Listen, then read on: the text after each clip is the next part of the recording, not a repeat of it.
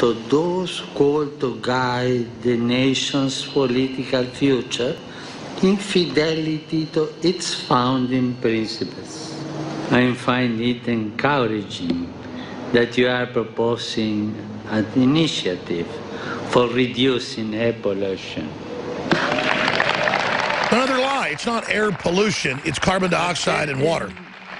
Accepting the urgency, it seems clear to me also Ah. that climate change is a problem we can no longer be left to a future generation. Okay.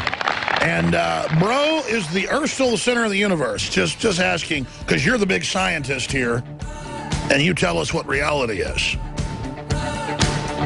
If he gets his way, a billion people will starve to death in the next 10 years. I mean, it's just a death sentence to the third world. But everyone says we must bask in his glow. I'm going to vomit. We'll be right back. Welcome back. I'm Alex Jones, your host. The globalists are making their move right now, their concerted effort to establish a planetary government that taxes all human activity under carbon taxes. The UN admits that over $100 billion has been spent in the last 30 years promoting the idea of global warming. Now, that's been proven to be a fraud. They just say climate change, period. They're the saviors.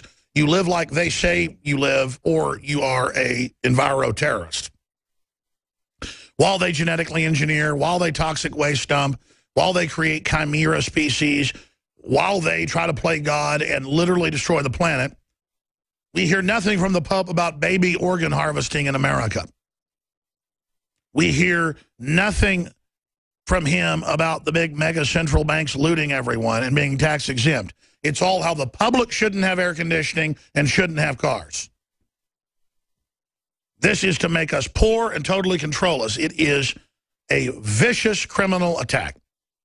And that's why the Pope gave his speech in Cuba. You can pull up the transcript in Spanish where he says, the beauty of the poor, the grace of the poor, how any type of wealth is bad, how the poorer the better.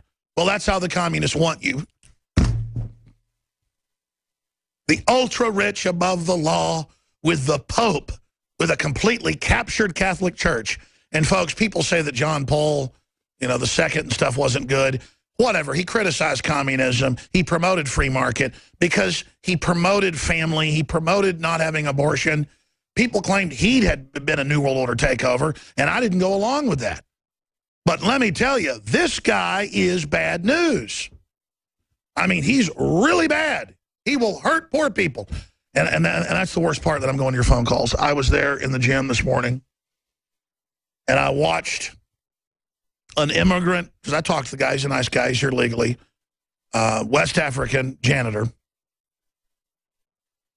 cleaning up some trash cans, wiping some stuff off. And he had such pride looking at Obama and looking at the Pope and just had love in his eyes when those two would slit his throat in a minute if they thought it'd give him more power. I mean, there's no debating. This isn't my opinion. These are evil, evil men. And they've just got these hardworking poor people with all this austerity talk and how beautiful it is to be poor and we're going to get the rich people and, you know, we're going to redistribute the wealth when it's designed to destroy any avenue they've got to become self-sufficient. It's total plantation behavior. You know who invented the plantations? The Romans. And you know who picked them back up with some of their operations in Latin America, in Mesoamerica, and the Americas? The Jesuits. Most of the other Catholic orders did not keep people as slaves and did it actually built people up. I've studied the history in depth. There was abuses here, abuses there, but in many areas it was a force to build up civilization and actually empower people. There were a lot of abuses. I'm not defending it. But comparing it to the Jesuits, the Jesuits created communism. Marx and Engels just picked it back up. And I always knew this. I read it in the history books. I understood it, but I didn't think the public could understand the difference between Jesuits and Catholics. There's a lot of different Jesuits out there who aren't in the inner circles that aren't aware of this, who mean well. I know that for a fact. And now, though, you cannot deny that the Jesuits are making a planetary pull for a world government with communist philosophy, with the world elite exempt from it all, the new royalty. I mean, this is an abomination desolation. This is just unspeakably cold-blooded and evil. To watch him sit up there with his hand out to all these poor people, promising them a future, knowing full well under Agenda 21, which he's endorsing fully, it's designed to impoverish. I mean, I'm not getting tears in my eyes right now as melodrama. My physical body, my cells, and my spirit literally gets chills up my back, a headache, and I start crying. I started crying on the elliptical, I started getting tears in my eyes, and I, I asked them to turn some of it off. And, and folks were kind of sick of it, so they started turning it off. It was on eight different televisions because they're going to kill a billion people with this with this alone. I mean, billion people. Stalin said one person is a one man dies, it's a tragedy. 10,000 dies, a statistic. And it's just like you're not going to hear a word out of him about the millions of kids being harvested. Can't believe I'm saying millions of kids being harvested. A whole bunch of Democratic Party groups came out yesterday and endorsed pedophilia. I mean, they're just moving on every front. God help us. God help us. I, I mean, they are just taking over and everything else, forced inoculations. They're announcing our kids belong to them. They're opening the borders. They're just engaged in every evil you can imagine. I mean, these people are Satanists. I will say it, Pope Francis is a devil worshiper. I can tell you right now. He wants to kill people. You know, I can't help it. I had a headache. I was upset until I called the Pope a devil worshiper, and now I feel better. Because if he won't talk about the mass harvesting of dead babies, if he won't talk about GMOs destroying God's creation, on record causing incredible mutations in animals that eat it, if he won't talk about how the world government has a plan to carry out eugenics, how the EU is meant to enslave Europe, no, instead he promotes the EU. He promotes carbon taxes. He promotes things that we know are a massive death sentence. Do you understand, folks, that in the third world, if 50% of your income starts going to food above that line, massive starvation kicks in. 40 plus million people starve to death every year. It was 30 million just a decade ago. And if they cut off the carbon to the third world, you will see massive die-offs. So he wants to flood the West with third world populations to politically control them and make them socialist, but then not help those countries. They destroy Libya, they destroy South Africa, they destabilize countries.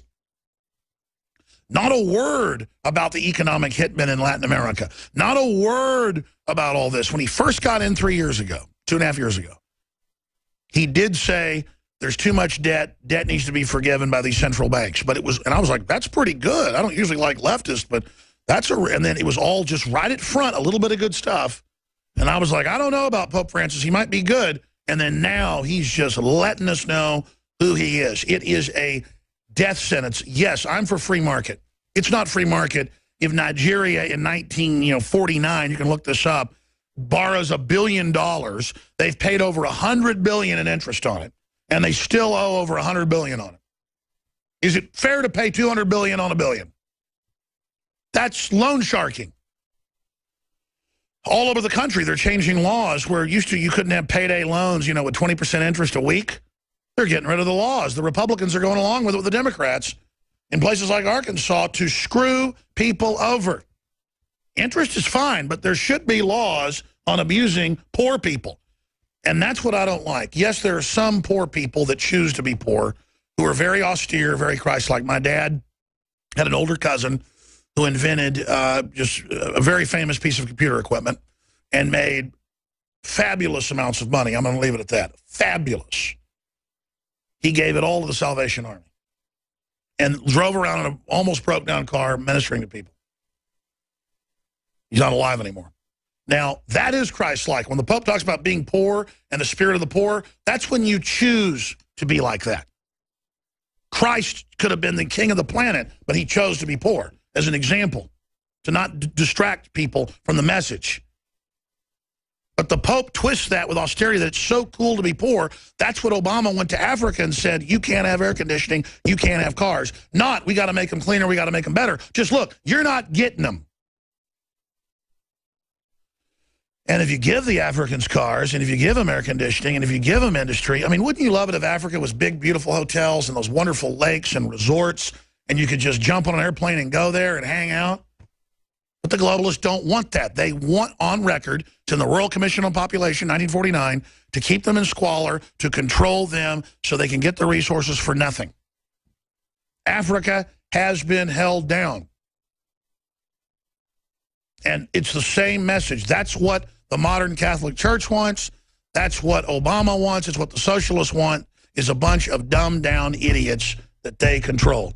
Anthony, you're here to cover health news. We're going to take calls with me and ride shotgun until Peter Schiff joins us. We're going to cover that health news coming up here in about 10 minutes. I want to go to some calls first. And we've got incredible news. We told you was coming. Reuters, intelligent car seat detects driver stress level. I told you 15 years ago that was coming. It calls the police on you when you're tired or stressed being federally mandated. Told you that yesterday. It's in the news today. I'm, I'm, I'm just telling you, total battle plan, total admission. They're putting cancer viruses in your vaccines. You hear the Pope talking about that? You hear the Pope saying, don't take the Gardasil shot in Latin America that's going to sterilize most of those girls? People say, Alex, you say there's too many Latin Americans. Let's sterilize them. Wink, wink. No, you don't kill and maim people. You protect them, you build them up. You just don't let the globalists then, while they're killing one group of them, use them as a weapon against us. It's called three-level and four-level dimensional thinking, not one-dimensional or smart people thinking two-dimensional. It's like dealing with a bunch of mental midgets. Wake up. I'm not talking to our audience. I'm talking to new listeners. How did I tell you last week? I said, now you're going to see a push for pedophilia. Suddenly, Democrat publications everywhere say it's the best thing since pumpkin pie. Because it's an agenda. I know who these people are. They won't stop till they've got their hands on your kids. If they can't have the baby fighting the scalpel when it's eight months old, you know, because it wants to live, they're going to get your kid in a dungeon when they're done, okay? It's what they do. Migrant crisis, Euro tensions threaten to trigger catastrophic conflict, experts claim and warn. We're going to get to that.